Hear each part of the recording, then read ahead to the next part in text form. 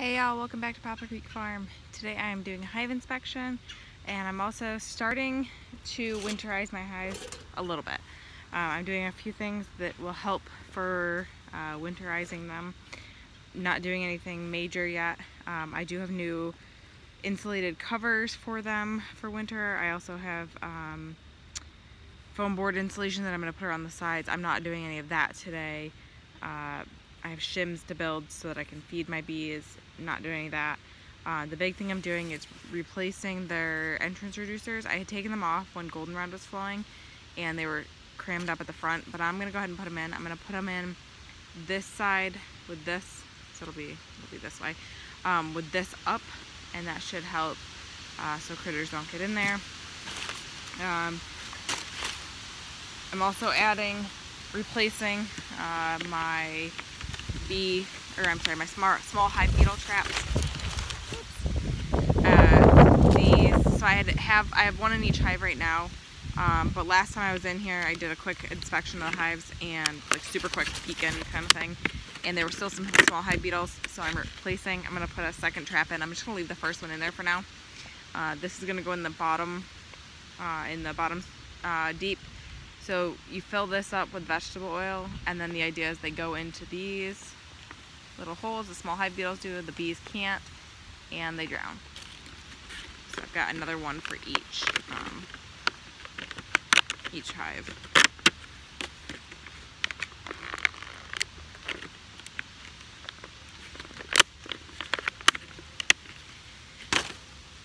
I think that's all I'm doing today right now.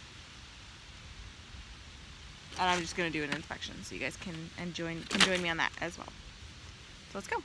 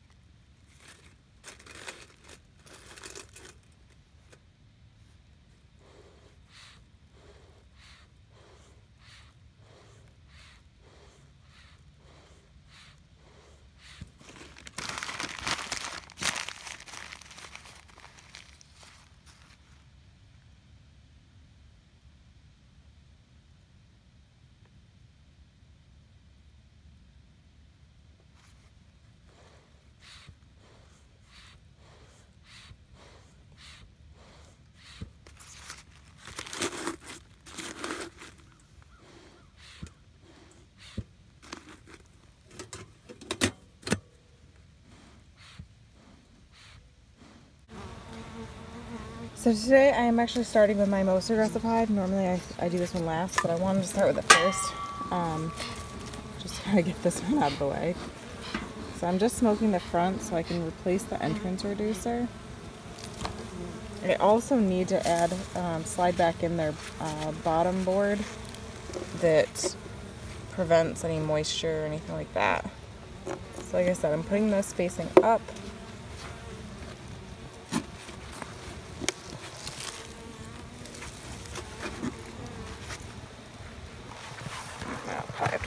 hive a little bit.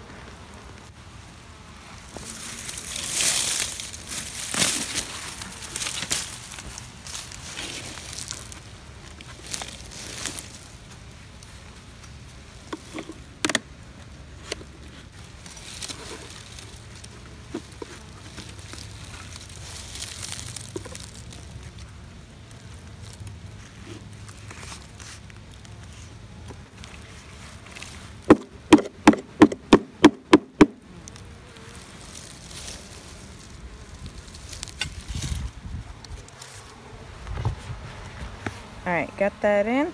Now we're gonna go ahead and open up the hive and take a look and see what is inside.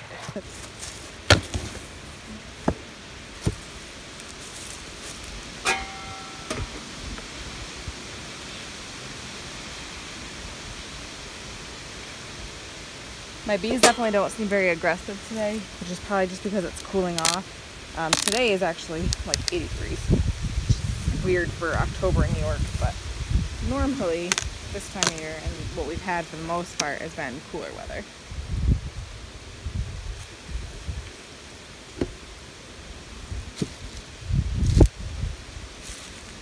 So here is the other, um, the old beetle trap. I'm just going to try to take a peek in it. Of course the bees blew it in.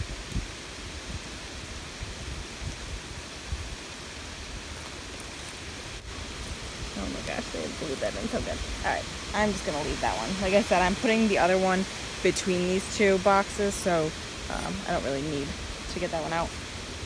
Last I checked, these were all honey, filled with honey. They've been filled. I'm just to double check that is still the case, that you know, we've had no major issues. Definitely less bees in here than last time I checked, which is normal at this point. Yeah, they're pretty much still finishing up that filling up with that honey. Looking really good. So I'm also looking for any signs of hive beetles. Haven't seen them yet. Doesn't mean I won't. I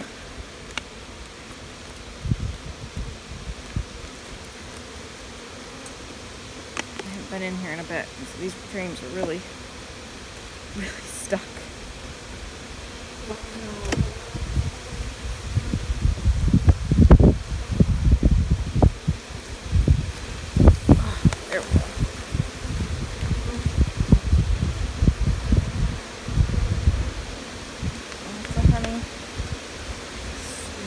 Definitely heavy.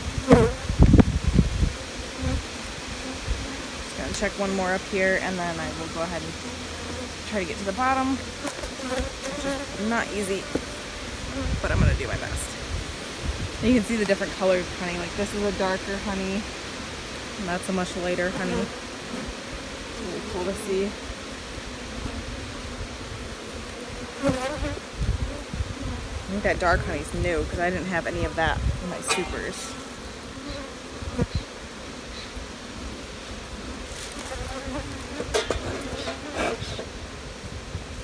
Alright, let's attempt to get this box off without killing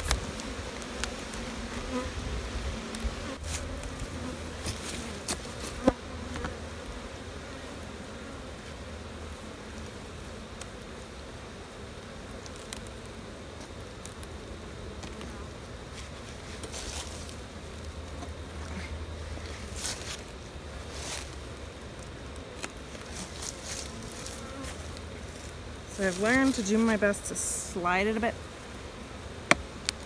first because if the frames are stuck together, this will break that apart. And then I stick it on top of my top.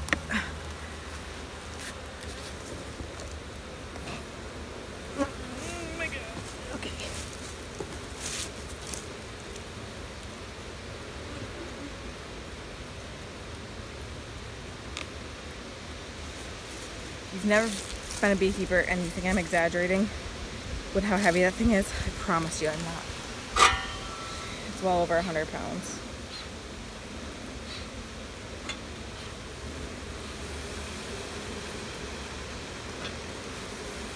hard to smoke them when it's windy. Let's go ahead and take a couple, look at a couple of these frames. Definitely got some cleaning out to do in here.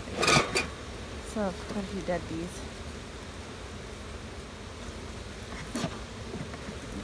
We are gonna do that.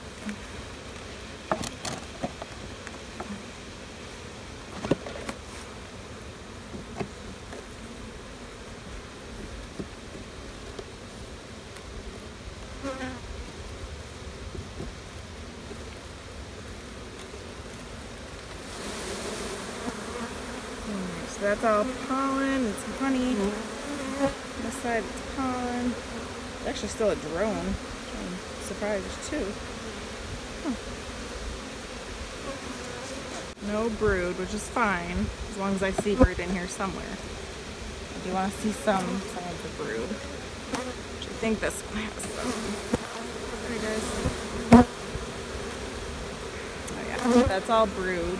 Obviously brood slows way down at this point um, because we're going into winter. There's larvae. I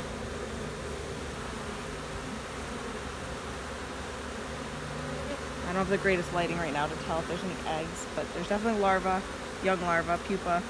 Oh yeah, there's some little ones.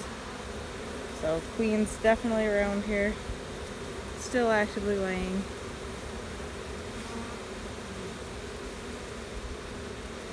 And the bees that I see look very healthy. Um, I did do the, my varroa mite treatment, so I am looking for any signs of uh, varroa mites, which oftentimes will be like wing deformities, things like that. And I don't see any of that. And it's really good, just slowing way down with the production, obviously, of the bees.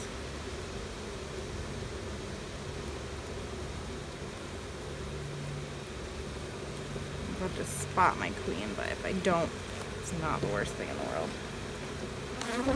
Definitely see signs of her. I'm happy with that. There's still some drones. I'm really surprised.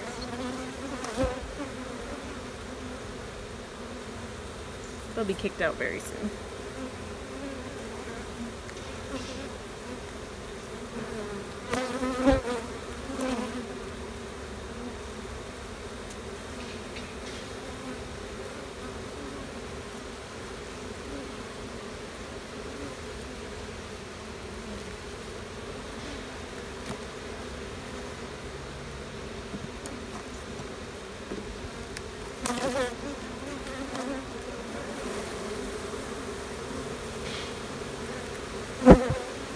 Still ramp up production of honey. So this is all they're, they're putting new honey in, which is good. Giving themselves lots of stores for winter. They got a whole box though of, of honey pretty much on the top. of. see, kept sticking to propolis. Not about the drone.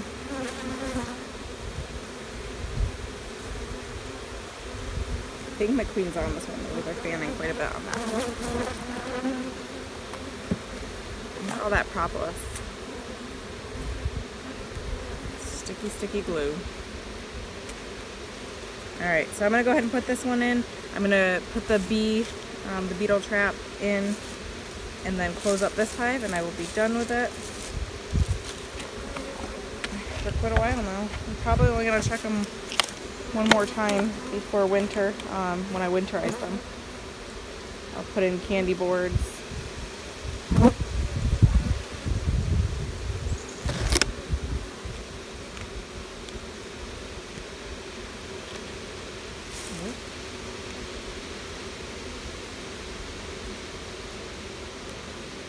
I'd much rather feed them early and them not need it than not feed them and open them up in the middle of winter when it we have a warm day and I can open it and there be no bees them being dead, you know, because I didn't feed them. So, alright, smoke these girls one more time.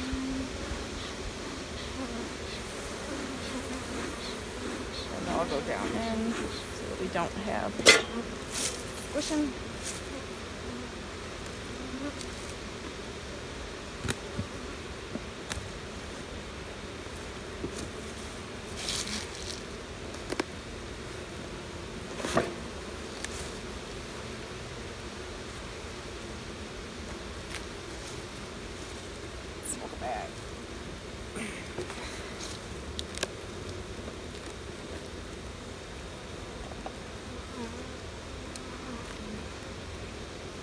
Beetle trap's kind of sliding too, but that's alright.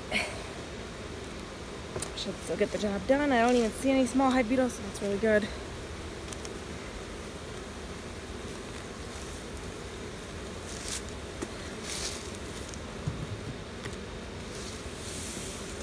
Alright, on to the next one.